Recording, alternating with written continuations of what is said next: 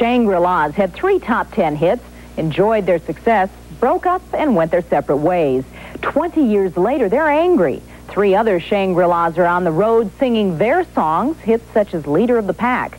The Shangri-Las are going to court, and Garrett Glaser has today's inside story. Oh no, oh no, no. Were the Shangri-Las in the 1960s, teenagers singing classic teen hits about bad boys and broken dreams. But they never registered their name, and so now these Shangri-Las are using it. They don't look the same, they don't sound the same, they're not the same. But for now anyway, they are the Shangri-Las. Leader of the pack. The girl group that gave us Leader of the Pack in the 60s is now actually leading the pack in the 80s, for the Shangri-Las have taken it upon themselves to fight in court those people who would use their good name to make money. They are suing producer Richard Fox. It's Fox who's selling the services of the new Shangri-Las.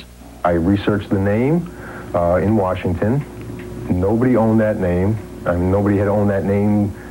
If I don't even know if they really ever even owned the name then, uh, but it hadn't been used for so many years, and I just registered the name. I own the name. Today, the original Shangri-Las say not so, and anyway, that's not the point. Why should you have to when you are who you are? We, we are famous. We were and we still are. Why do you have to go out and trademark who you are? Because if you don't, someone just may borrow your name and all that goes with it. You can see that in this home video of the new Shangri-Las performing at a charity benefit. If you're familiar with our music and our records, they're very dramatic type of songs. Very dramatic. That says it all right there. Familiar with our music, our songs?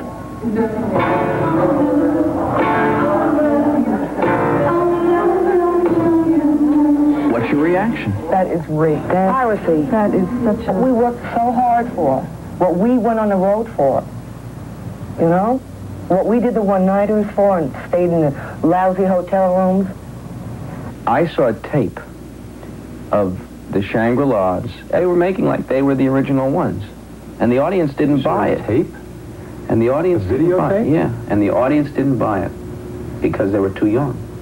I don't. That, that's specifically why I made them young, so they w- people wouldn't think that they were that group. And one of my girls said one of our original hits. This next song was Granddaddy of them all for us, and it was our first number one record. Fox says if the originals want to work again, that would be a different story. They want to have nothing to do with this business, nothing to do with the name, nothing to do with anything, but yet they want to sit there and say, you can't use that name.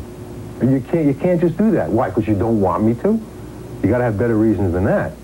But if they decide, they came to me and they said, Dick, we want to come back and we want to do it, you got it. In a minute. The Shangri-Las say they were ripped off then, and they're being ripped off now. We're not teenagers anymore, and we don't have to take it anymore. And we're not taking it anymore. And what about people like Fran and Joe Canfield of Hackettstown, New Jersey? They contacted the Arnie K. Mars Talent Agency looking for an original oldies group. The big night comes. They show up. What'd you think? Shocked. Reviving rock and roll from the 50s and 60s is big business today, and some people think the fight over the Shangri-Las name is really a battle for all the people who made the music in the first place. Why should three individuals today live off of the work product and the reputation of people who were really the pioneers of rock and roll, who really had the hits 25 years ago? A federal judge in New York has ordered the new Shangri-Las to stop using the name until the fight is settled. Meanwhile, the original Shangri-Las told us today they will make a comeback at a reunion show this summer. Garrett Glaser, Entertainment Tonight. Thanks, Garrett.